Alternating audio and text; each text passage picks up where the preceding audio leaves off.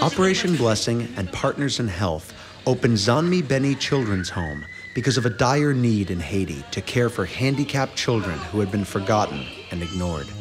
These children had been living in a room at the National Hospital, discarded by their parents because they had birth defects. When the earthquake struck Port au Prince, the hospital was inundated with patients, and the room the children had been occupying was needed for trauma victims. A team from Partners in Health went in to evacuate the children the day after the earthquake. They asked Operation Blessing for help in saving them. Operation Blessing purchased an old estate in Port au Prince and started converting it into a safe and beautiful place to care for these young people. It's a truly nurturing environment.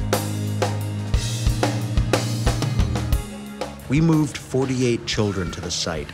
These kids had been given up and forgotten because they have cerebral palsy, HIV, and developmental disabilities.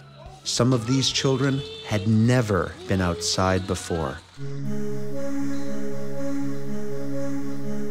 Partners in Health have provided physical therapists. Where they had no means of rehabilitation previously, here, many of the children have learned to walk, their moods have been uplifted, and healing can begin to take place.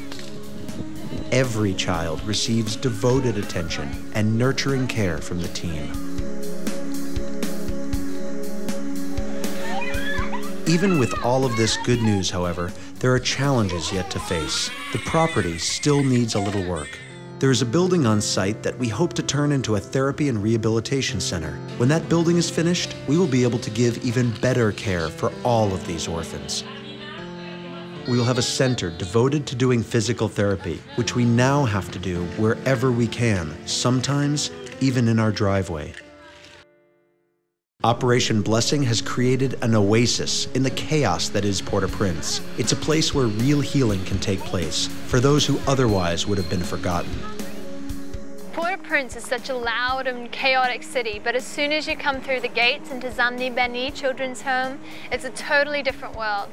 There are fruit trees and fish ponds, swings, and everything that these children need to not just have a beautiful place and beautiful home to live in, but a place where they can receive therapy and the love and attention that they need from a family.